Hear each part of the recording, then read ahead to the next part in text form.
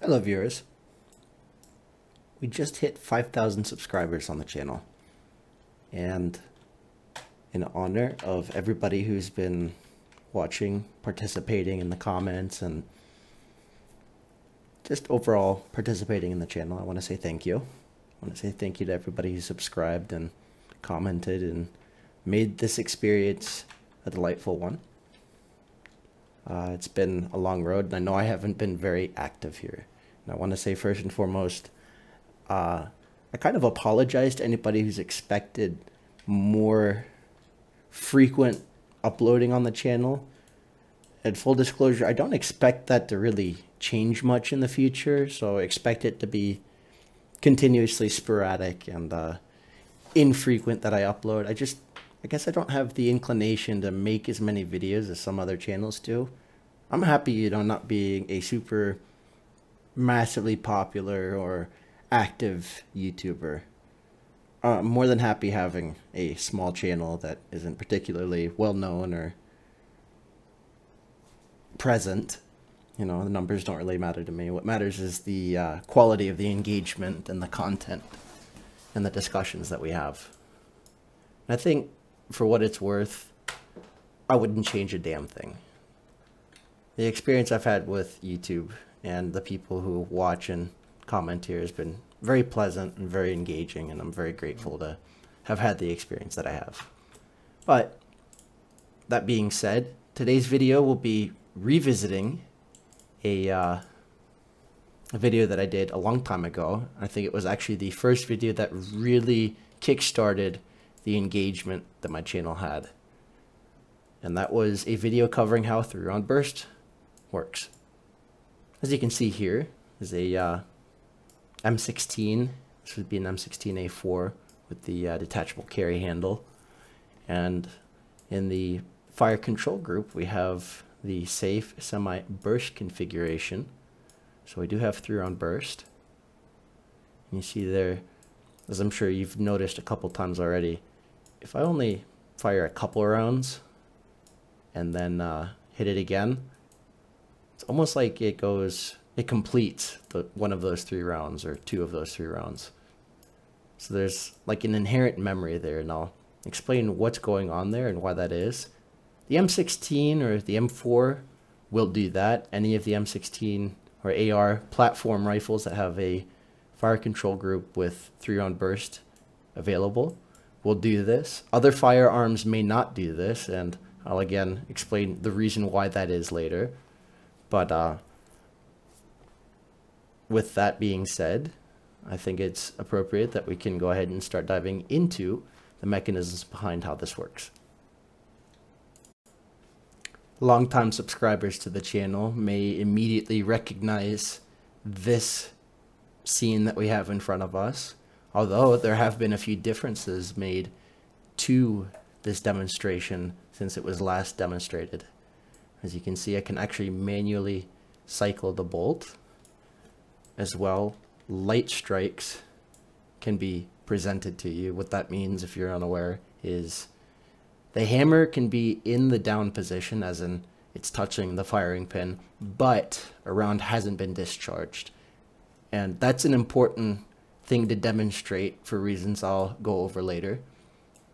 But uh, just to start, we're going to cover the semi-automatic fire control setting. As you can see here, we'll start with the simple. You have your trigger and you have your hammer. We'll ignore this red piece for now. So the trigger and the hammer operate in such a manner that the trigger holds the hammer in place. So when you're not pressing the trigger, the hammer is going to stay cocked. When you press the trigger, it moves out of the way of the hammer and lets it go. That causes it to fire. What the selector does, and the selector is a very simple piece of material, it's uh, literally just a drum of metal. And on part of the drum, you cut out a section that makes room for the trigger to move. So think of it this way you just have like a cylinder of metal that sits from through the receiver from one side to the other and it being held in place by the receiver makes a very sturdy barrier for anything mechanical to act against. So if it interfaces with it and there's no room provisioned for that piece to move, it's not going to move. In the case of a safety, that literally pre prevents the trigger from being pressed at all, which maintains positive engagement with the hammer. There's no way that you could ever manipulate a safed rifle like this in a way that isn't destructive that would cause it to fire.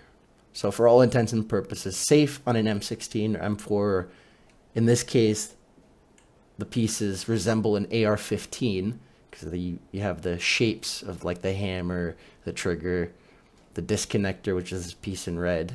Those are all AR-15 pieces, and those can only fire in semi-auto. So what that means when people say semi-automatic is that you press the trigger once and it will only ever fire once. So I'm holding pressure on this trigger and the hammer remains cocked now. That disconnector is doing the job similar to the trigger. So there's another interface surface on the hammer up here that touches and is held by the disconnector. And so I'll go over a couple, couple terms that you may be unfamiliar with, and those are positive interfacing and negative interfacing. There's also a term called neutral interfacing, and I'll go over what all of these mean. So between the hammer and the trigger right now, we have what is called a positive interface. And what that means is that the shape and the angle of these surfaces right here encourage these pieces to slip into each other rather than if it were negative interfacing they would want to push each other away just by being in contact. So like pressing on the hammer like this would, if these were negatively interfaced, push these apart. We have an example of a negative interface here, and that is between the disconnector and the hammer. Although it is not in the position you saw earlier where it was being caught, but rather when you've pressed the trigger while the hammer is being cocked by the bolt, you get a negative interface right there. And there's a spring inside here, inside the trigger that pushes the back end of the disconnector up. And it sits on the same hinge pin that the trigger does, so they share an axis. What that means, like you saw there, is that the disconnector can be pushed out of the way by the hammer. Again, that negative interface. And it transitions right there to a positive interface, meaning it's one that tends to want to stay together. So like if there were no spring pressure on the trigger right here, these would want to stay together like that. But it's the pressure of the return spring on the trigger, which isn't illustrated here for simplicity, just so it's not, you know, obfuscated with all these springs and spring arms and pieces we don't really need to see to know what's going on. That spring pressure is what drives these apart. And these are tuned so that by the time the disconnector, which interfaces again with the trigger here on a solid surface, meaning it won't collapse into that. When the trigger is released, they're tuned so that by the time the trigger, or sorry, the disconnector lets go of the, of the hammer, the trigger's already in position to catch the hammer again. So there's no risk of another discharge on release.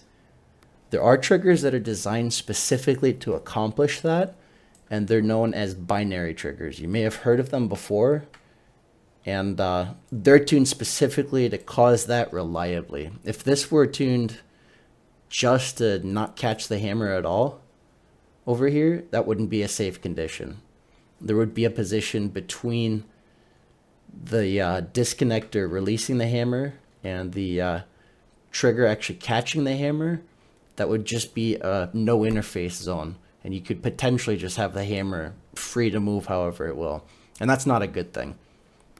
You want something to be there to catch the hammer one way or another. So having covered semi-automatic, we can move on to full auto.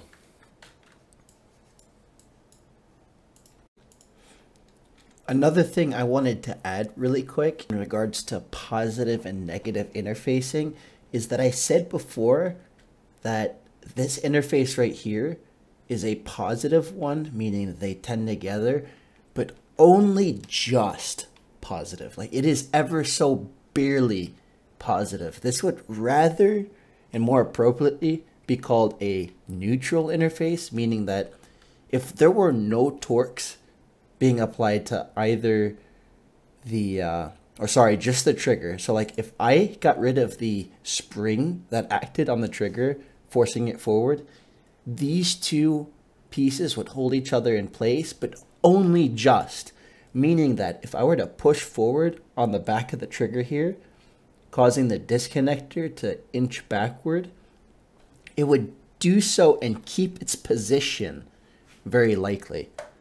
So like there would be just enough friction between the hammer and the disconnector that if I backed the trigger up a little bit, it would continue to maintain the slack that I had taken up. So that's that's what we mean by a neutral interface. Things are being pressed together mechanically, but their position relative to each other, so like the angles that they have on their respective axes, doesn't tend to change. Whereas with a positive engagement, they want to mesh together more tightly and tend towards their most bound state for example, like the hammer and the trigger. So like this hammer doesn't want to stay in a more cocked position. It wants to drop to its lowest energy state available. And the same goes for the trigger, which under its spring pressure wants to tend upwards into the hammer. But regardless of that, if I were to remove the spring on the trigger again, right here, the angles between them would want to push the trigger up anyways. So if I can actually find here it is. So if I remove that, right now the trigger is basically dead. There's nothing that really wants to make it fall down other than gravity. So if I shut gravity off, there is nothing to rotate it back other than, you know, little mechanical engagements that you get here and there. But I'll show you. I'll try to catch it kind of midway up if I can, which is harder to do than it looks like. So if I catch it like right there, you saw it just wants to push it in, regardless of how I try to approach it. It wants to come up. But back to what I was saying with the disconnector. Ooh, actually, I think those might be negatively in interfaced. So like normally, hold on, if I let the hammer go, So there's no torque wanting to pull this forward. And if I just... Oh shit, those are negatively interfaced, aren't they? Okay, so I misspoke. I actually lied to you. So these two inter interfacing surfaces actually mesh negatively. So in other words, if you're not pressing the trigger, the disconnector itself wants to push the trigger forward just because the hammer's pushing against it. Okay, I'm happy I clarified that. Yay for transitions that aren't jarring to the viewer. Yes, I've seen some of your comments. I promise that I'll work on my camera work and not give you Wayne's World extreme close up. Although I kind of gotta be honest, and it feels good to see the haters get all pent up sometimes. Okay, I promise. I'm gonna stop doing that as much as I can from now on. And full disclosure, having looked back at some of my older videos, I can admit they can be a little bit difficult to watch sometimes. So I do promise going forward, if I do any camera work in Algodoo, I'm gonna try to do smooth panning, smooth zooming, and make it easy on the eyes to watch. Or I can just transition smoothly between scenes, kind of like this. And it would make things a lot easier to watch if I'm not constantly zooming and jumping around the scene. Wait, we weren't talking about helicopters, were we? No, that's that's for a different video. I apologize. Let's go back to the subject matter at hand. So, you see a lot of the same parts here that you saw before notice things have slightly different shapes. So the trigger here I, I gave some artistic liberty to represent things in two dimensional. At the back of the trigger here on an AR-15 trigger, this section is closed. So what I mean by closed is if you were to look into the back of this trigger, just like rotate this front section so it's facing away from you and you're staring down the back of this, there would be a wall here, a wall of metal or material that the trigger is made out of. On the M16 or the M4 full auto or three round burst triggers, that's open. And that's so that the disconnector can stick back further and interface with the selector. And I'll explain what's going on there in just a second. So you have the same thing going on here. So if you set your selector to semi-automatic, you're still to get the same functioning where the disconnector will catch the hammer once it's fired. Letting go causes the hammer to snap back onto the trigger and the process repeats. What happens with the selector, you notice there's a red piece here, that actually interfaces with this. And like I said before, that important distinction that this is very rigid. The material of the selector is very rigid and held very securely in the receiver. That's important. So in this position, you have a cutout that blocks the trigger, right? This is familiar. But if you rotate further, you have a section of this which on the M6 or sorry, the AR-15 selector would be solid enough to prevent the trigger from moving here. That's been cut down by another machining pass on either side so that this red section here of this like hemispherical or hemicircular cutout of the selector drum is thinner than the cutouts in the trigger. So like the trigger has this sort of shape if you look down it from the rear. You have a cutout right here. And what the selector is doing right now is just fitting into that. So the trigger can move up into it like that. And it's free to move. But the disconnector, which sits inside the trigger like this, let me align things a little bit better, cannot move up. So it gets blocked by the selector. On the safety, when you throw it into safe,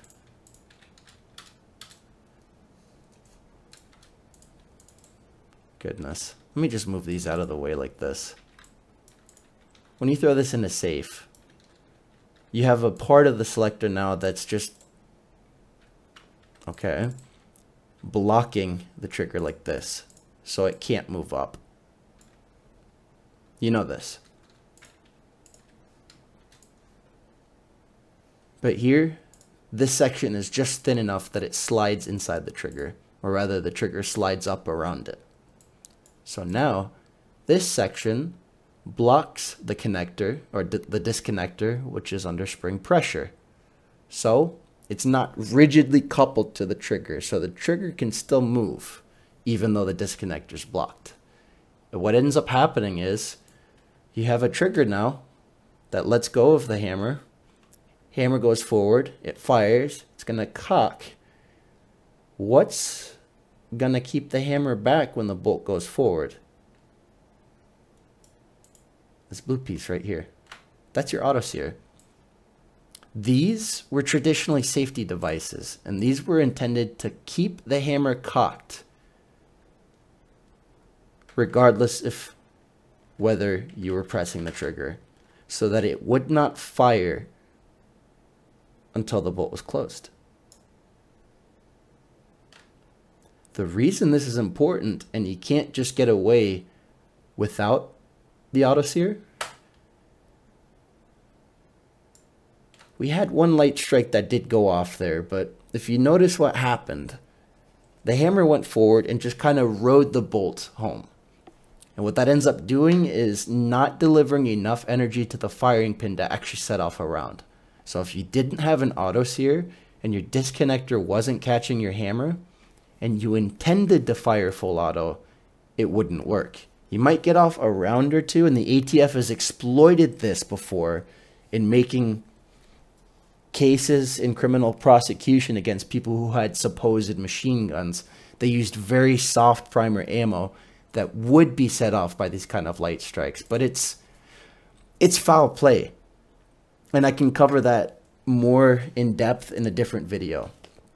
But uh generally most ammo isn't going to be sensitive enough that it would be set off by this condition. You need the auto sear, whoop, you need the auto sear to actually hold the hammer long enough that it delivers its full energy only when the bolt is fully sent home. So we'll review. Safety blocks the trigger entirely. Can't move out of the way of the hammer, hammer can't fall. Can't shoot. Semi-automatic, cutouts provided for the trigger and the disconnector to move, so they can move out of the way of the hammer, allowing it to fall. Firing around, cycling the action, causing the hammer to be cocked, and caught by the disconnector. Full auto, that same cutout that was previously provided for the trigger is still provided for the trigger, but another piece of metal has been moved into position to block the disconnector. So it no longer can move to catch the hammer. Additionally, a portion of the selector that previously blocked the disconnector is now moved out of the way and the or sorry the auto sear is moved out of the way and now it can move and actually engage with the hammer and its function is to hold the hammer in the cocked position until the bolt closes. And the reason this cutout's important, the reason you want the auto sear to actually be blocked, this is actually kind of strange. A lot of firearms don't block the auto sear at all. For example, an AK-47, the auto sear is always going, whether it's on safe, semi, or full auto. The auto sear will always hold the hammer in the cocked position, regardless of your fire selection until the bolt closes. And the reason it can get away with that is because the way an AK is assembled, the auto sear doesn't get in the way of anything. But on an AR-15 or an M16, you'll notice, if I can find it, I'll find a good example. Another piece of software that viewers of the channel might recognize when you disassemble an M4 or an AR-15, you have to clamshell the upper receiver down onto the lower receiver with the bolt inside it. And if you were paying attention, the back section of the bolt here actually uses the auto sear or actually touches the auto sear to trip it. And so if the auto sear is in the open position, as in it's ready to catch the hammer, you're going to press down on top of it when you go to clamshell this thing down. So what the selector does is allow you the option to throw it on safe, and when you do so, the auto sear's moved out of the way and you can actually close it.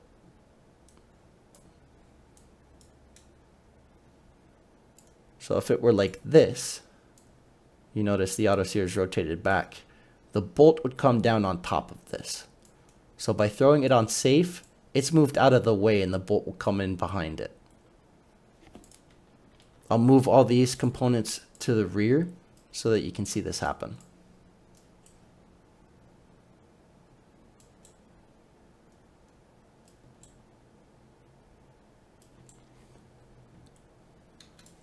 Let me increase my drag tool strength.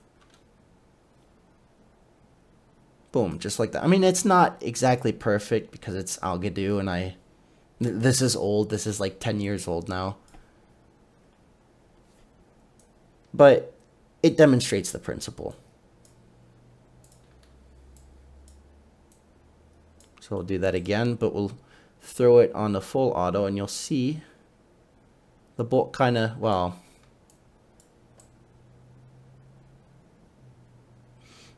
you see, there you go. You kind of see it had to come down on top of it.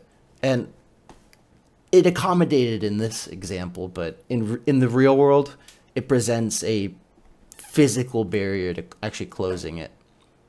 I actually have a replica M4A1 that I can probably get some video of to demonstrate this with. So I'll do that and I'll segment that in so that you can see it.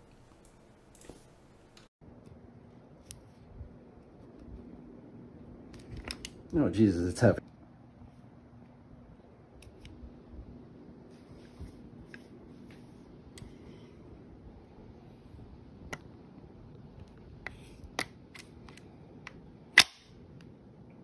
It actually did it. I don't... Mm, actually, there's a little bit of a gap. Watch. As I throw this into semi. Boom. So separate those again. So I'm putting a little bit of pressure on there. That auto sear keeps those So that's what that that's what that's for. And yes, of course, this is not real. This is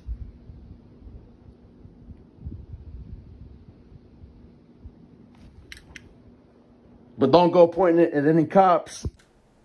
Okay, having covered that tangent about needing the auto sear to be pushed out of the way for the bolt to actually have room to come down when assembling the AR, uh, now we can cover three round burst because I think we understand full auto effectively now. It's basically like a disconnector that's operated by the bolt. The trigger has no influence on it. So you notice a few differences here as well. The selector is the exact same. The auto sear is the exact same. For better or worse, the hammer is the exact same, although there are differences on a three round burst hammer that I'll sort of go over in a minute. You also have a different disconnector. If you notice here as well, there's this sort of rounded and extended section of the trigger. There's two disconnectors in here. There's you can kind of see the red one in the back and it has its tail to be blocked by the selector as well. This one's cut out of the way, kind of like the AR-15 disconnector. But you notice here it has another hook type extension on it, and there's this little wheel. So this wheel is what they call a burst cam, and its job is to interface with this disconnector and regulate when it does and does not engage with the hammer. So its job is to actually prevent this disconnector from engaging with the hammer until it is counted out three shots. And so I'll demonstrate before I properly explain it fires three times and then stops. And then like any engagement with the disconnector, the disconnector holds it until the trigger is released. Functions exactly the same as the other. You also have semi-auto here as well, and you can see it there engaging that disconnector that's at the rear. So what we've done here is we've made these disconnectors about half as thick as the single disconnector would be on a just full auto or a just semi-auto trigger group so that they can sit side by side inside the trigger. So using that similar example to before where we have this kind of box with a cutout to represent the trigger, we're now doing, instead of this for your disconnector, you're doing this.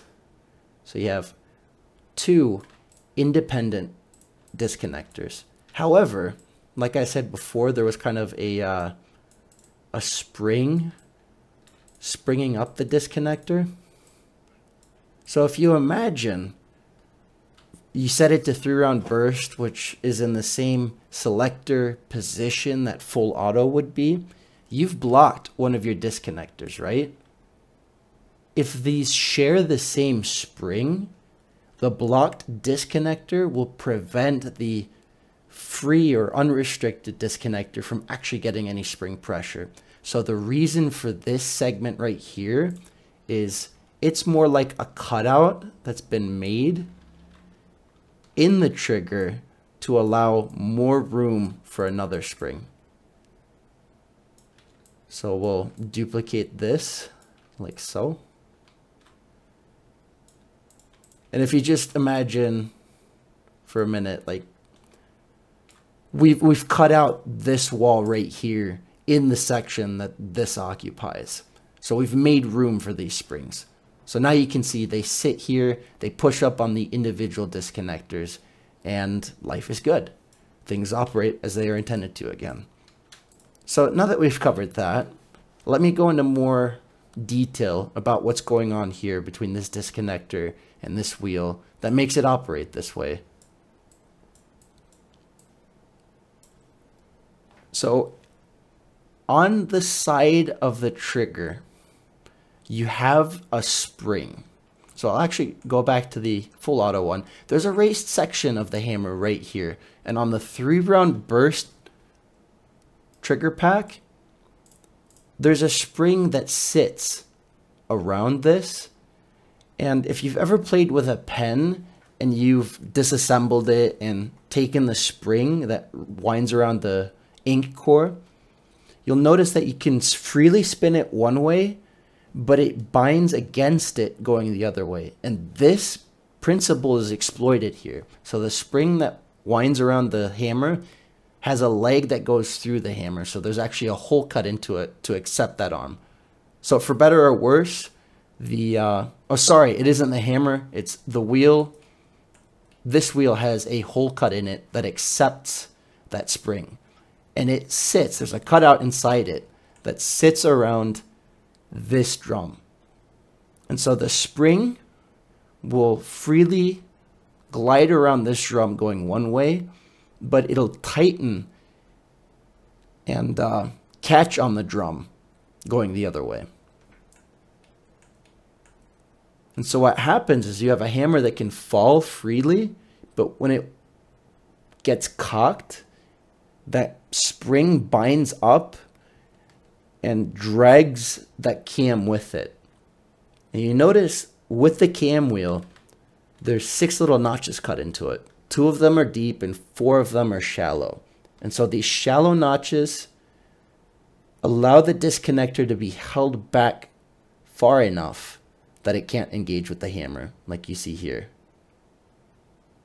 And on return, you notice that the uh, disconnector, or sorry, the cam kind of wants to rotate forward with the hammer.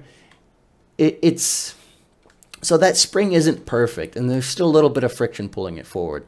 So that hook kind of does two jobs. And you notice I was talking about positive, negative, and neutral engagement surfaces there. There's a, a slightly positive engagement there between the teeth on the wheel and the disconnector. And so that'll prevent it from following the hammer forward the rest of the way. So then it'll fall forward, hit the firing pin, fire, and it'll get cocked again as the weapon cycles, and it'll drag the next notch into engagement with the disconnector. Now it's still a shallow notch, so that disconnector can't grab the hammer yet. It still has to go through the motions one more time, snag the wheel one more time, if I can get it to do it. See, I don't actually use a spring because springs are finicky and all I could do. I actually have a ratcheting mechanism, but it kind of has to fire for that to work. So I have to assist it forward. And after it fires a third time, that hook follows into a deeper notch and the disconnector can catch the hammer. And that's how you get through on burst. Of course, the auto sear still does its still does its thing. It's still necessary to uh, obviously hold the hammer for those three shots that are. Uh, that's actually two shots that are full auto like, right? The first one is off the trigger. The subsequent two shots will be off the auto sear. And then the disconnector will catch it. Hopefully this explained things with a little bit more visual pleasantness, like it wasn't as jarring to watch as the original was. Maybe it answered a few more questions. Oh, speaking of answering questions, there's a couple questions that people might have about this mechanism that I just thought of. So one is, do all mechanisms use this kind of wheel arrangement? And the answer is no. And I actually have videos on a few of these that use kind of a spring-loaded mechanism that does something else. And when you let go of the trigger, it snaps back to where it was. Those are more appropriate to cover in those videos and I encourage you to go look at those videos on this channel to to learn more about them. But no, this wheel is not universal. Some firearms that are not M16s or M4s do use these, but they're not that common because they're not ideal. And one of the reasons they're not ideal is I'm sure you've already picked up on already is they can do that. They have kind of a memory because they're not spring loaded to return to a zero state is you can fire two rounds and they don't even have to be in three round bursts. You can fire in semi auto and that wheel's still going to wander because well the spring and the cam do their thing every time the hammer drops. So you can fire two rounds from a zero to cam, switch to three round burst, and you only get one round.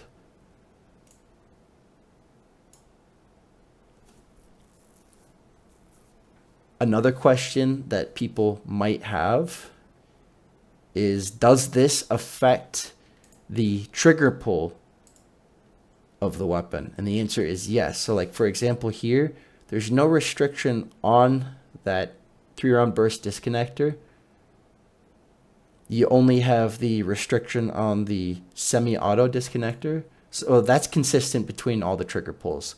So whether you're on a zero, one, two, or a 3, you uh, don't get any changing resistance from the red disconnector there. But you'll notice that right here, in this position, that three round burst disconnector actually has freedom to move. So right now, it doesn't provide any resistance. But as soon as I fire that first shot, suddenly it acts like it's being held by a selector. So it's restricted and I feel the spring pressure through the trigger for these next two shots. And this subsequently translates to semi-auto. So if you're firing a three-round burst, M16 or M4, in semi-auto, you will get one light trigger press and two slightly heavier trigger presses. If I print the force, you might actually see the numbers. So I'll try to grab it as close to the tip as possible.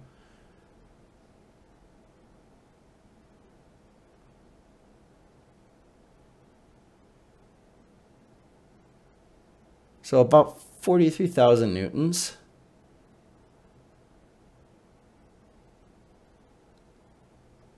or 4,300. You notice here 4,400, 4,000, yep, about 400 extra newtons in this little example, which those aren't real world numbers.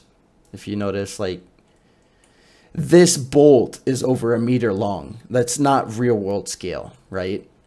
These, these things are sized up just to make them more reliable and trustworthy when it comes to the uh, visuals and their reliability. But these slight differences are noticeable to experienced shooters, and that can be a negative in regards to the M16 or the M4 in terms of how they handle as marksman weapons. Because you do have a difference in the way the trigger feels between trigger pulls, and that's not ideal. So when we're talking about different kinds of burst mechanisms, one that resets is ideal in this circumstance because you have a consistent trigger pull because the thing always resets to zero. Anyway, I think that clears up most of the questions that I can think of that I haven't already talked about or covered in some other way. Uh, I'm sure people are probably going to ask more. People are going to have other questions as well. And, uh, well, that's what the comment section is for. No video is perfect. I can't expect to cover absolutely everything that anybody's going to ask. So hopefully this was sufficient for its purposes. again, I want to thank you guys for helping me reach 5,000 subscribers. I think that was overnight today. It's uh, November 4th now, 2023. And I want to say I checked yesterday or the day before, and we were just shy of 5,000. And the subscribers have been consistently coming in. People have been uh, consistently subscribing slowly but surely. And, well, we reached a milestone. 5,000 is a good number, and I figured it was appropriate to, you know, honor that somehow.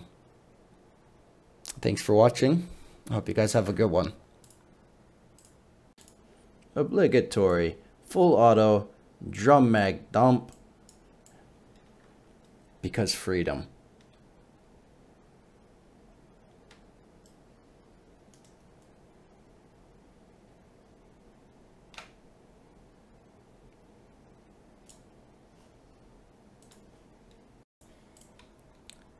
Democrats just want to see these banned because they're black.